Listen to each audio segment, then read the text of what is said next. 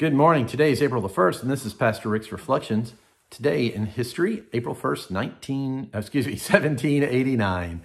Um, the U.S. House of Representatives, U.S. House of Representatives elected its first Speaker of the House, and it was Frederick Augustus Conrad Muhlenberg, who happened to be Lutheran. We have not had anybody in that position since, and Muhlenberg served as Speaker for the first and third Congresses. Now, it's not like it is now where technically the Speaker of the House is uh, third in terms of the chain of command after President and Vice President. They didn't have that down on paper, but we could say that he was the um, third highest ranking person in government at the time. And you know, it's it's kind of odd. We don't have folks like that. Part of it is we don't have as many Lutherans um, in high positions of government. I think partly because we try our best um, not to be political. And you know what? That's not right.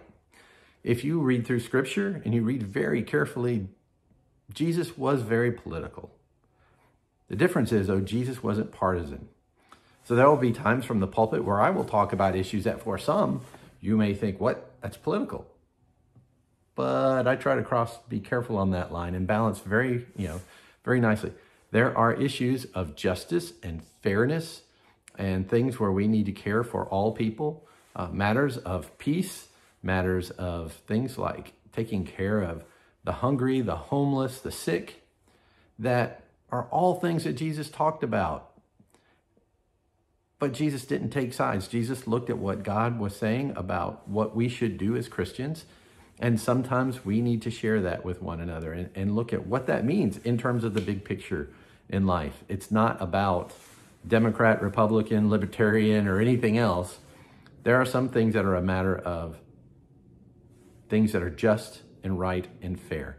And so sometimes we have to talk about that um, because Jesus asks us to, to take care of one another. So we are thankful for uh, Muhlenberg and his witness. Uh, we're thankful for all elected officials, and today we'll take some time to pray for them and all other, um, all kinds of other matters. Let us pray.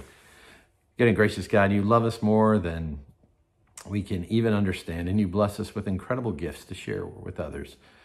We continue to thank you for leaders uh, uh, like Muhlenberg and, and others who, across our history, have tried to do what they can to be fair and just to all your people.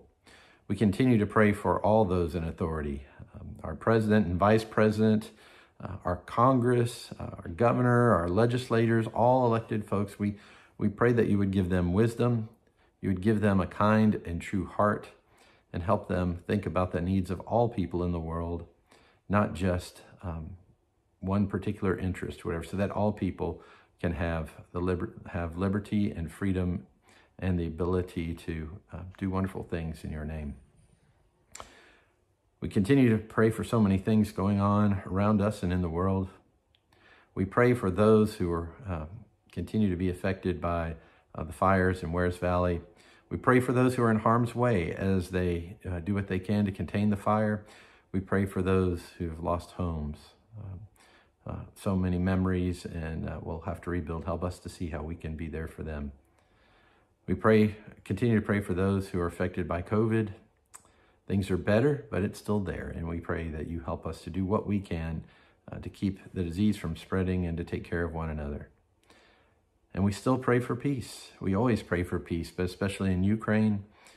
Uh, we pray for the people of Ukraine, for the people of Russia. We pray uh, that wise minds would prevail and there would be an end to fighting and bloodshed. Show us how we um, can do justice, love kindness, and walk humbly with you as you call us to, in the words of the prophet Micah.